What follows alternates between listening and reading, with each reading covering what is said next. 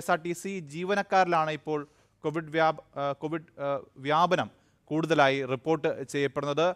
അജിത്ത് നമുക്ക് കാണാൻ കഴിയും ഈ രണ്ടായിരത്തി ഇരുപത്തി ഒന്ന് ലോക്ക്ഡൗണിന് ശേഷം കെ എസ് ആർ ടി സിക്ക് ഇളവ് നൽകി. പിന്നീട് ബസ്സുകളിലൊക്കെ നിരവധി പേർ യാത്ര ചെയ്യുന്നുണ്ട്. അങ്ങനെ നിയന്ത്രണങ്ങളും നിബന്ധനകളും ഒന്നും തന്നെ കൃത്യമായി പാലിക്കാൻ കഴിയാത്തൊരു സാഹചര്യമുണ്ട്. ഇപ്പോൾ വീണ്ടും ഈ കോവിഡ് വ്യാപനം തീവ്രമാകുമ്പോൾ എന്തെങ്കിലും നിയന്ത്രണം ബസ്സുകളിൽ നടപ്പാക്കാൻ കഴിയുന്ന നിയന്ത്രണം കൊണ്ടുവരാൻ K S R T C ആലോചിക്കുന്നുണ്ടോ. അപ്പം ജീവനക്കാർക്ക് ഇങ്ങനെ കോവിഡ് പടരുമ്പോൾ എന്താണ് ഒരു ബദൽ പുനഃക്രമീകരണം? അനൂപ് ആശങ്ക വർദ്ധിപ്പിച്ചുകൊണ്ട് K S R T C ജീവനക്കാർക്ക് കോവിഡ് പടരുകയാണ്. തിരുവനന്തപുരത്ത് മാത്രം രാവിലെ എടുത്ത കണക്കിൽ ഇന്നലെ എൺപത് പേർക്കാണ് സിറ്റിയിൽ മാത്രം കോവിഡ് ഉണ്ടായിരിക്കുന്നത്. തിരുവനന്തപുരം മേഖലയിൽ മൂന്ന് ജില്ലയിൽ തന്നെ സർവീസ് രാവിലെ നടത്താൻ നടത്താൻ പറ്റാത്ത അവസ്ഥയാണ്. സംസ്ഥാനത്താകെ ഇതാണ് അവസ്ഥ. ഈ കോവിഡ് വന്ന് വീണ്ടും സർവീസ് തുടങ്ങിയതിന് ശേഷം മൂവായിരം മുതൽ മൂവായിരത്തി അഞ്ഞൂറ് സർവീസുകളാണ് K S R T C ദിവസവും നടത്തുന്നത്. ഇന്ന് രാവിലെ ഈ കോവിഡ് മൂലം ജീവനക്കാർ എത്താത്തതിനാൽ ഏകദേശം നാനൂറിനടുത്ത് അതിന്റെ കണക്ക് കൃത്യമായിട്ട് അല്പസമയത്തിനകം പറ്റും. അവലോകന യോഗം ഇപ്പോൾ കെ എസ് ആർ ടി സിയിലാണ് മുന്നൂറ്റി അൻപത്തി ഒൻപത് സർവീസുകൾ എന്തായാലും രാവിലെ സർവീസ് നടത്താൻ കഴിയാത്ത ഒരു അവസ്ഥയാണ്.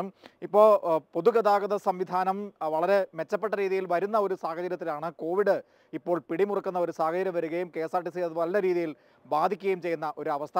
K S R T C റീവാമിന്റെയും തിരിച്ചുവരവിന്റെ ഒരു പാതയിൽ നിൽക്കുമ്പോഴാണ് കോവിഡ് വീണ്ടും വില്ലനായി കോർപ്പറേഷനെ ബാധിക്കുന്ന ഒരു സാഹചര്യത്തിലേക്ക് എത്തുന്നത്.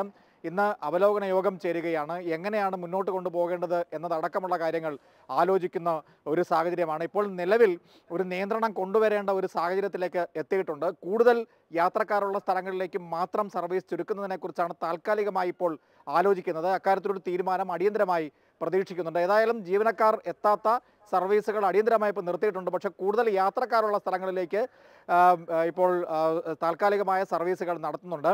വലിയ നിയന്ത്രണങ്ങൾ കൊണ്ടുവന്ന് ഇരുന്ന് മാത്രം പോകാവൂ ഒരു സീറ്റിൽ ഒന്ന് അല്ലെങ്കിൽ പിന്നെ രണ്ട് എന്ന രീതിയിൽ ക്രമീകരണം ഉണ്ടായെങ്കിലും ഈ അടുത്ത കാലത്ത് നിന്ന് വരെ യാത്ര പോയി കുത്തിനിരക്കി K S R T C service നടത്തുന്ന ഒരു കാഴ്ച ഉണ്ടായിരുന്നു. പ്രത്യേകിച്ച് ഈ ശബരിമല സീസണിൽ ഉൾപ്പെടെ അങ്ങനെയായിരുന്നു സർവീസ് നടത്തിയിരുന്നത്.